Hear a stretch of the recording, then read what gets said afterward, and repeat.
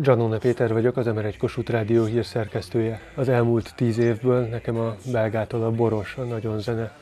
Akárhányszor hallgatom, mindig jó kedvre derülök, és annak is örülök, hogy a jó magyar borokat reklámozza.